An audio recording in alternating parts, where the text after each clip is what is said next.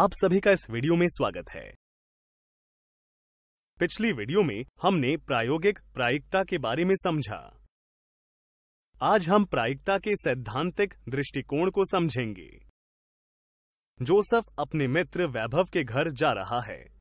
जिस सड़क पर वह चल रहा है, आगे चलकर वह दो सड़कों में बढ़ जाती है। जोसफ सही रास्ता चुनने के लिए साइन बोर्ड ढूंढता है। जोसफ का सड़क पर चलना एक प्रयोग, यानी कि ट्रायल है। क्या अब आप यहाँ आउटकम बता सकते हैं? हम कह सकते हैं कि दोनों सड़क जो जोसफ के सामने है, इस इवेंट के लिए दो आउटकम्स होंगी। हमारी बाईं ओर की सड़क को हम एक्स और दाईं ओर की सड़क को वाई से दर्शाते हैं, क्योंकि जोसफ को कोई साइन बोर्ड नहीं मिलता जो उसकी मदद कर सके। तो हम कह सकते हैं कि दोनों रस्तों के सही होने की 50-50 प्रतिशत संभावना है। हमने ऐसी प्रागुक्ति यानी प्रिडिक्शन क्यों की? क्योंकि अभी हमें नहीं पता कि दोनों में से सही रास्ता कौन सा है। अतः हम किसी भी रास्ते के साथ पक्षपात नहीं कर सकते।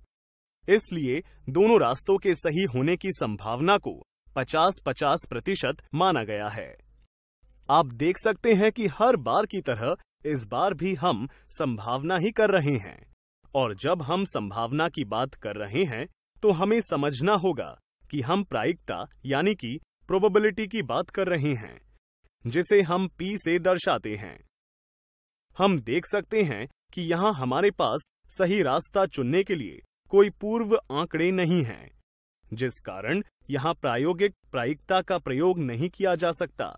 ऐसी स्थितियों में हम सैद्धांतिक प्रायिकता की मदद लेते हैं, जिसे थ्योरेटिकल या क्लासिकल प्रोबेबिलिटी भी कहते हैं, जिसका संख्यात्मक रूप में मान ज्ञात करने के लिए हम इस सूत्र का प्रयोग करते हैं।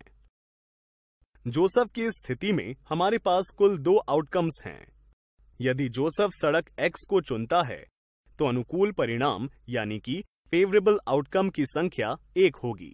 इसी प्रकार सड़क y को चुनने पर भी अनुकूल परिणाम, यानी कि फेवरेबल आउटकम की संख्या एक होगी। सैद्धांतिक प्रायिकता के सूत्र से दोनों सड़कों को चुनने की प्रायिकता एक बटा दो मिलती है। यहाँ दोनों सड़कों के लिए प्रायिकता या संभावनाएँ समान हैं। इसलिए हम इन्हें संप्रायिक परिणाम, यानी कि इक्वली लाइकली आउटकम्स कहते हैं। यदि हमारे पास यहाँ दो के स्थान पर तीन सड़कें होती तो क्या आप इनके लिए प्रायिकता बता सकते हैं? तीन सड़कें होने पर संभव परिणामों की कुल संख्या तीन हो जाती हैं, और पहले की भांति प्रत्येक सड़क के लिए अनुकूल परिणाम की संख्या एक होगी। अतः तीनों सड़कों के लिए प्रत्येक के सही होने की प्रायिकता एक बटा तीन होगी, क्योंकि इस बार भी तीनों सड़कों के लिए प्रायिकता समान है। इसलिए हम इन्हें भी इक्वली लाइकली आउटकम कह सकते हैं। क्या आप किसी ऐसी स्थिति के बारे में सोच सकते हैं जिसमें परिणाम संप्रायिक यानी कि इक्वली लाइकली न हो? नहीं।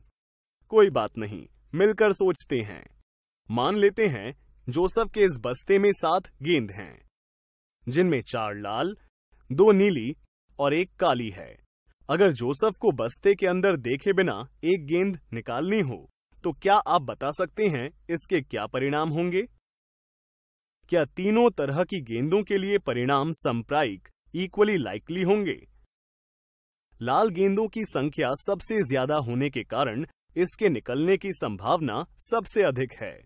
इसी तरह, नीली गेंद के निकलने की संभावना लाल गेंद से कम तथा काली गेंद से ज़्यादा होगी। और काली गेंद की संभावना सबसे कम होगी। आप देख सकते हैं कि यहाँ तीनों गेंदों के निकलने की संभावना असमान है, इसलिए ये परिणाम संप्रायिक नहीं होंगे। चलिए एक और महत्वपूर्ण बात को समझे।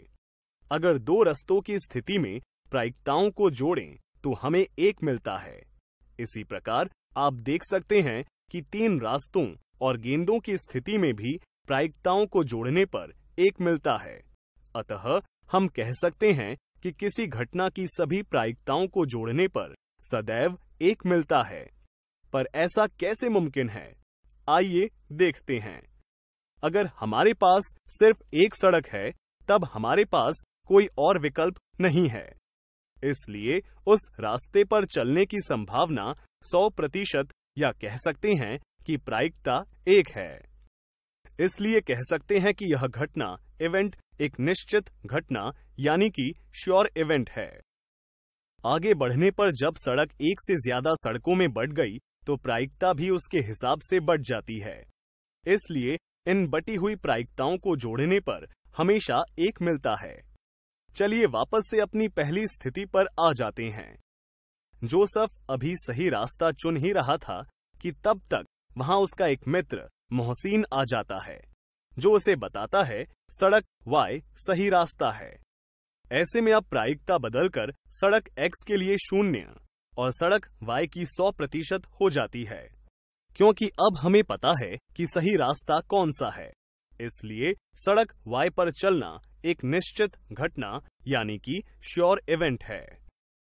अतः वह घटना जिसका घटित होना निश्चित हो, निश्चित घटना कहते हैं।